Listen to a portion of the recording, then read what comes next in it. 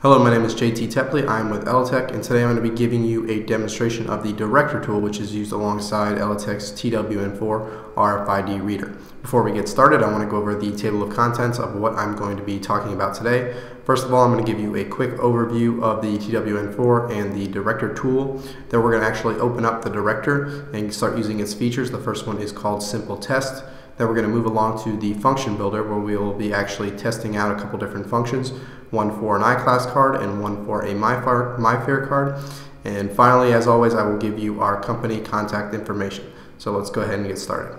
Okay, so first of all, our TWN4 is a dual frequency all-in-one reader in that it can read all technologies all the time, whereas most other readers are single frequency and designed to read only one or two technology types at a time.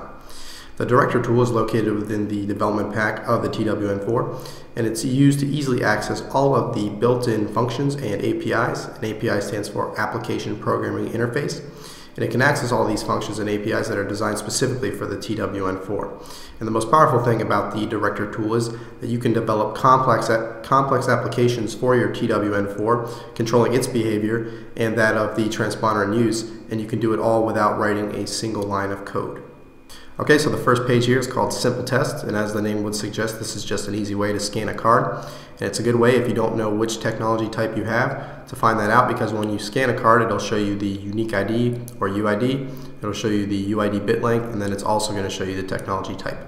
So down here under select tag types, if you click this drop down, this is where you can choose to turn on and turn on or off all the technologies you want.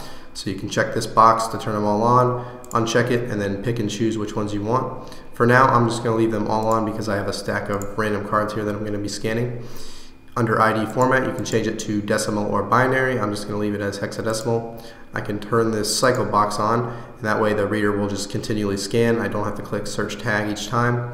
And then also display new ID only ensures that I won't scan the same card twice. So here we go, we're ready to start scanning. This first one here is an HID proxy and iClass in one, and it'll scan both at the same time, like that. This is a MIFARE card. Next I have a Legic. And I only have a small stack here, and the list is much larger than this, and it's constantly growing. This is an Indala. Uh, tag it. And then I also have a Rusco key fob, and it'll scan that as well. Okay, although the TWN4 can read all technologies, and this is a great feature, we strongly recommend once the reader is ready for installation and to be used in a real application that you reduce the number of technologies that can be read to improve performance. Also on ELATEC's YouTube channel is another video uh, that's called Performance Optimization for the TWN4, and this will show you an example of how the performance will improve once you reduce technologies, so we, we strongly recommend doing so. Okay, so for this example, I'm using an iClass card and a MIFARE card, so I'm going to check those two boxes and leave every other technology turned off. Okay, so now we're ready to move on to the function test tab here, and this is where we actually access the function builder. We're going to test out a couple different functions. Right here in the API dropdown, you can see it's currently selected to all. So here are all the built-in functions that can be accessed with the director. You can see there's quite a bit but we made it a little bit easier and also divided it up into categories. So you have at first general um, categories for all TWN4s, and then you have functions that are designed down here for specific card types. So I'm going to use the dual frequency card, the HID Prox and iClass card first, but because I only selected HID iClass in the previous menu, it's going to ignore the, the Prox tag, and I'm just going to be working with the I iClass uh, part of the card. But before I can get to functions that I have to do specifically with an, I, with an iClass card, I have to first scan this card again and let the director know which technology I'm working with. So I select RF, radio frequency, and then I'm going to select search tag here. And this is the same function that we used back here, just a different way to get to it. So let me rest my card on the reader just to keep my hands free. And I click send, and here we're working HID iClass, so we're ready to go. So now on the API dropdown, I go to iClass this time and where is it? There it is. And we're going to be getting the, the PAC number, the physical access code. And it's a special case with the iClass cards. Not only do you have the UID, you also have something called the PAC that's associated with the card. So this function is used to obtain it. And we just click send. And here we can see the result is true, so it worked. Here's the PAC uh, bit count, and then the PAC itself. Okay, so now let's move on to the MIFARE card. And the The great thing about this center log window here is you can double click on a function to recall it, which is pretty handy. So again, we have the search tag. Now we're working with a MIFARE card.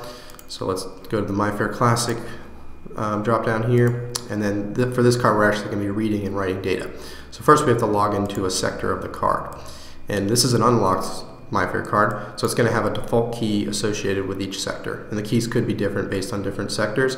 I already know mine is this key here. It's the usual default key that's used, which is all Fs. There are three other possibilities, and you can find them in the API reference guide, but I already know this is my key here.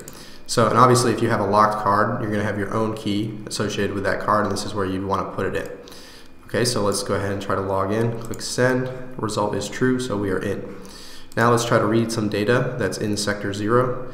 And if you're in sector 0, you have access to blocks 0, 1, 2, and 3.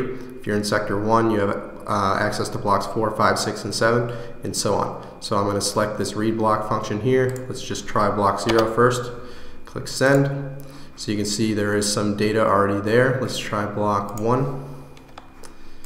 And this one has all zeros. So let's go ahead and try to, to write over those zeros. And now we need to go to write block. And let me pull up my notepad here and I just have some default data. And this is just going through each of the ASCII keys. There's two Fs, two Es, two Ds, two Cs, and so on, just to keep it simple. And I'm going to copy and paste that in there. And just know the 0x here in front of the data is just letting the computer know that it is in hexadecimal form. So we're going to write to block 1, and I just copy that data and paste, and then I click send. So there it goes. Let me scroll over. The result is true, so it should work. Now let me try to read back block one by double clicking, and you can see now this data has changed. It's no longer the zeros, it's the new data that I put in. And the other handy thing you can do with this log window is if you want to save your work and maybe come back to it later and use it for a different card, or you can send it to somebody else and they can access the functions that you were using. So here, let me get rid of this iClass card because it doesn't have this iClass function because it doesn't have anything to do with the, the MIFARE functions we're using. So I just click clear. And now let's say I want to save these functions. So I just click save to file. And I'm just going to save it on my development pack and I'll just call it test. Uh, oops, I already had one, but I'll just replace it. So now if let's say I X out of the window and I lose all the functions and I, I don't want to have to go back and find them again, I can just load that file.